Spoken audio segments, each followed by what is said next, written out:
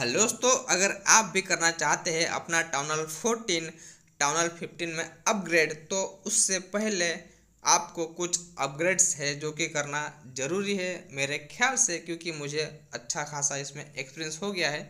तो कुछ अपग्रेड्स है जो कि करने के बाद में, आपको बाद में टाउनल 15 अपग्रेड करने के बाद में अटैक में ना आपको दिक्कत होगी, नहीं, और ना ही आपको डिफेंस में दिक्कत होगी। तो चलिए हम देखते हैं क्या क्या अपग्रेड है जो कि आपको करना चाहिए टाउनल फिफ्टीन के पहले। तो सबसे पहले दोस्तों, आपका जो टाउनल है, वो फाइव स्टार हुआ है कि नहीं, एक बार देख लेना है। अगर नहीं है तो उसको पहले फाइव स्टार कर लीजिएगा, ठीक है? तो उसके बाद में आपका जो क्लैन कैसल है, इसको भी आपको फुल्ली अपग्रेड कर लेना है, ठीक है? अभी क्लैन कैसल हो गया।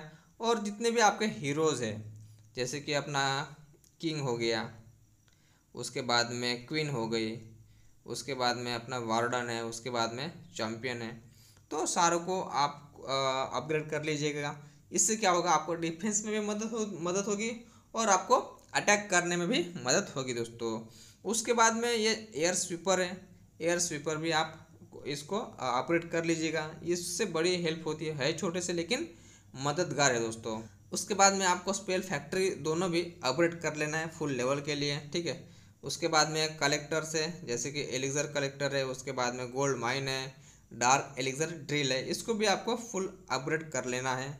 उसके बाद में एलिक्जर स्टोरेज उसके बाद में गोल्ड स्टोरेज भी आपको फुल लेवल अपग्रेड कर लेना है। नेक्स्ट आपको डार्क एलिक्जर स्टोरेज भी आपको फुल अपग्रेड कर लेना है। आर्मी कैंप आपको फुल अपग्रेड कर लेने दोस्तों, बहुत ही ज़रूरी है आपको जब आप अटैक करोगे तो आपको बिल्कुल हेल्प होगी दोस्तों तो इसलिए आपको आर्मी कैंप अपग्रेड कर लेना है। उसके बाद में दोनों भी बैरक्स भी आपको फुल अपग्रेड कर लेना है। या डार्क बैरक्स भी करना है और बैरक्स भी कर लेना है।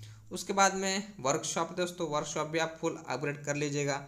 इससे भी आपको बड़ी हेल्प होगी, दोस्तों। उसके बाद में पेट हाउस है, दोस्तों। पेट हाउस भी आप उसको, इसको भी आप फुल अपग्रेड कर लीजिएगा। इस, इससे भी आपको बहुत मदद होगी अटैक करने में। ज़रूरी है, दोस्तों। उसके बाद में एयर डिफेंस भी बहुत ज़रूरी है, इसको भी आप अपग्रेड कर लीजिएगा। उसके बाद में इन्फोनो टावर उसके बाद में स्कैटर शॉट भी आप फुल लेवल कर सकते हैं। अच्छा है दोस्तों डिफेंस में आपको बिल्कुल मदद होगी। उसके बाद में ईगल आर्टिलरी तो ये सारा कुछ अपग्रेड है दोस्तों, है छोटा छोटा लेकिन इसमें टाइम भी बहुत लगता है। अगर आपने ये सारे कुछ कर लिया है या नहीं कर लिया है तो आप इस सबको अपग्रेड करके और आसानी से आप टनल फिफ्टीन में अपग्रेड हो सकते हैं। आपको ज़्यादा दिक्कत नहीं होगी दोस्तों। अगर आप टनल फिफ्टीन अपग्रेड करते हैं तो आपको नए डिफेंस मिलेंगे। एक तो स्पेल टावर है और एक मोनोलिथ है। ये दोनों भी डिफेंस है दोस्तों। तो काफ़ी अच्छी चीज़ें हैं। उसके बाद में ये जो छोटे छोटे बाद में अपग्रेड है, जैसे कि आर्चरी टावर उसके बाद में कैनन ये सब बाद में धीरे धीरे होते रहेगा।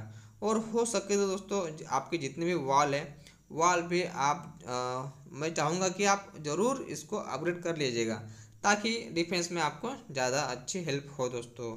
बस मेरे ख्याल से दोस्तों इतना ही जैसे कि मेरा एक्सपीरियंस कहता है आपको ये सारे अपग्रेड कर लेना है टाउन हॉल उसके बाद में आर्मी कैम्प उसके बाद में scatter shot eagle artillery inferno tower air air defence उसके बाद में वर्कशॉप लेबोरेटरी भी आपको फुल अपग्रेड कर लेना है ठीक है?